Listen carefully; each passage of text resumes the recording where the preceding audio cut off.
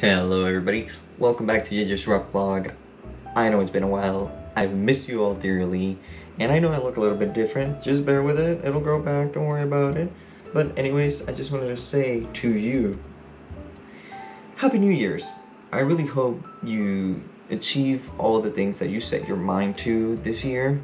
I know 2020 kind of sucked, but let's look forward to 2021.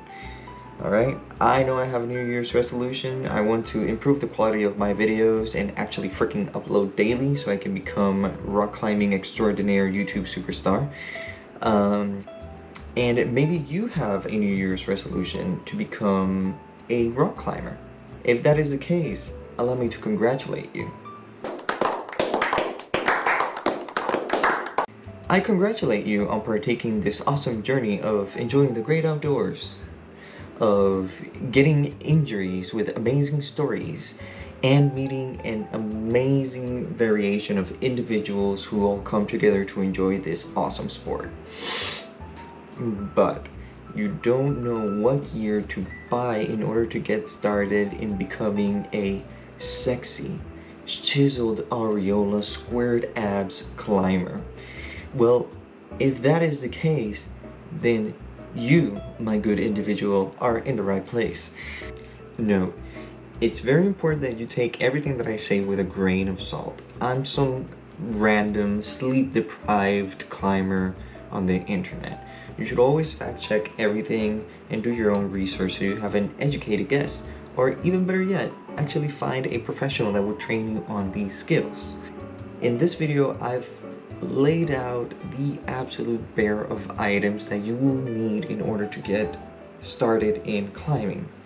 In terms of variation of items, how to use them, and the specifics are all going to be laid out for future videos. Or you can just check other videos on the internet and, or just read about them. So without further ado, let's get started. I know it's a bit of a different angle, and of course, uh, maybe the coloration looks a bit different. I'm just kind of playing around with some things. But anyways, uh, let's not stop the video and let's get started. So the first thing that you will need as a rock climber would be some shoes. Now, shoes are very important. This is your contact with the wall, alright? This is literally what can change the game all the way from making a huge send to maybe failing it. So it's very important that you play around with shoes. Now I suggest you don't buy them online, that you go out of your way to go to an REI or maybe a outdoor shop and actually try them out. These bad boys, they need to fit like a glove on your foot, alright? And trust me, they will fit like a glove on your foot. They're horribly painful. The next item you will need is a harness. Now, the harness, you're gonna obviously use it to um, put the rope around it, and this will keep you from not falling to your impending doom when inevitably you actually fail that ascend on your route so um, there is a huge variation. There's black diamond, there's petzl, and so on. But a pretty good harness is all you need. You don't need something too fancy. Black diamonds make pretty cheap harnesses that they're also very good. So the next thing you're gonna need is a chalk bag. So chalk bags, obviously, do what the name suggests. You put chalk in and I'll get to that in a minute. Um, but basically, you're gonna want one. This is so you can dip your hands in it, and once you dip your hands in it, you get your hands covered in magnesium. We call it chalk, but it's actually magnesium or magnesium powder, and this will uh, give you better friction with the wall and wick away all that moisture and oils that we generate in our fingertips. The next thing you're to want is chalk. Now chalk comes in two different ways. There's this powder form, right? And there's also liquid form. This I want to throw outside a window because I hate it with a passion. But a lot of people like to soak their hands with liquid chalk this will dry out and leave a thin layer of chalk on your hands and then dip their hands into regular chalk. So you can do that. Um, it's also not something that you want on walls, in my opinion, just because it tends to um, it just tends to get sweated out very fast, at least for me. So I I like carrying powdered chalk and just dip my hands whenever I need to, and uh, um, yeah. The next thing you will need is a quick draw. Not a quick draw, but at least something between 12 and 16 quick draws.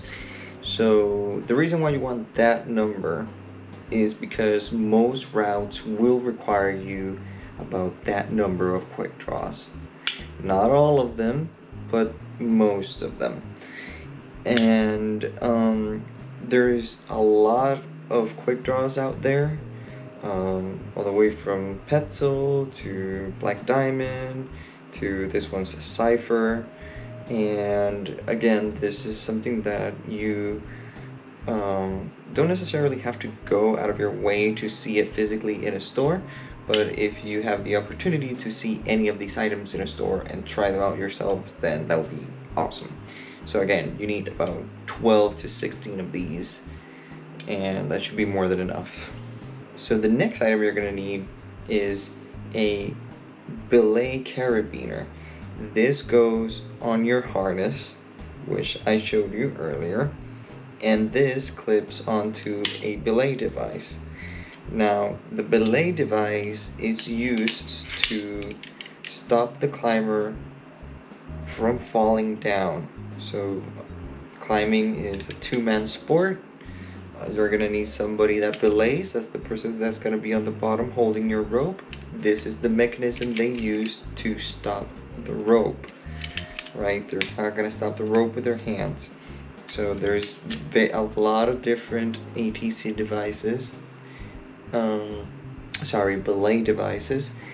Um, this is the ATC. This is the GriGri by Petzl. This one is by Black Diamond. Alright, I suggest you search a lot of information on these because they vary a lot. The next item on the list is just carabiners. You want at least three or four of these. You can do a lot of magic with these. They will become handy for a lot of things, especially when it comes time to do system changes. So once you reach at the top of the route, you gotta come back down, uh, utilizing the anchor on top but in order for you to do that you need at least two of these because they don't always have permanent carabiners on top right? So now that we're in the topic of free carabiners um, you also want to accompany those with a sling. I, I have two as you can see. I will just have these on my harness clip it on one anchor, clip it on the other anchor, do the system change, come down, clean the route, go home. The other item that you will need is, of course, a rope. Now, rope is arguably one of the most important tools of a rock climber. This is your lifeline, alright?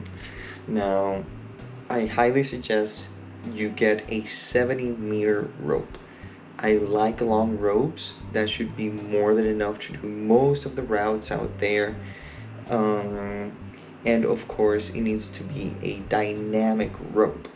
So, the difference between a dynamic rope and a static rope is that when you fall on this one, it will have like a bungee effect that will slow down your fall instead of stopping you short, like dead stop, which is which can hurt your spine and hurt you in many ways. Um, this does not mean that a rock climber can't use static rope, is that you're not going to use it to sport climb. You're going to use static ropes for other things.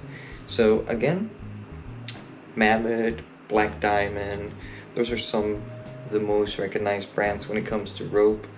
Um, this one is a Black Diamond 70 meter it's been an awesome rope. I have zero complaints about it. I actually want to get a second one, but in blue. And the absolute most important item that a climber needs it's a helmet. Get a helmet and use it. Okay? Very important that you use a helmet. I don't think I have to explain why, right? You play stupid games, you win stupid prizes, alright? Those are the absolute most essential bare items that you need in order to get started. The price range ranges on these vary drastically depending on the product that you're buying, the brand that you're buying, where you're buying it, etc. But at least on my case, um, for about a grand, I got everything that I needed. And I know that sounds like a lot, but it's a grand that will last you your whole life if you take care of it, you know? Um, or for at least a long amount of years. And that's it. That's honestly all you need for rock climbing. Um, if you think about anything else, please write it in the comments. Also, like, subscribe, share.